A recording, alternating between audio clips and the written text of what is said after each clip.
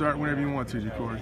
All right, my name is Jacorey Shepherd uh, from the University of Kansas, cornerback. I'm here at the Senior Bowl, and uh, inside the league, it actually it helped me a lot going through the process as far as some things that I didn't know, and uh, polished me up on some things that I did know, and it gave me more information. And kind of throughout the process was. Um, it helped me to kind of feel people out and, and, know what to believe, what not to believe, what to buy into, what not to buy into. And it was a great help. I mean, going through the process, I've never been through the process, ha- haven't had anyone in my family, so it kind of helped me as far as knowing what question to ask when I took visits to visit agents or when scouts did come and talk to me.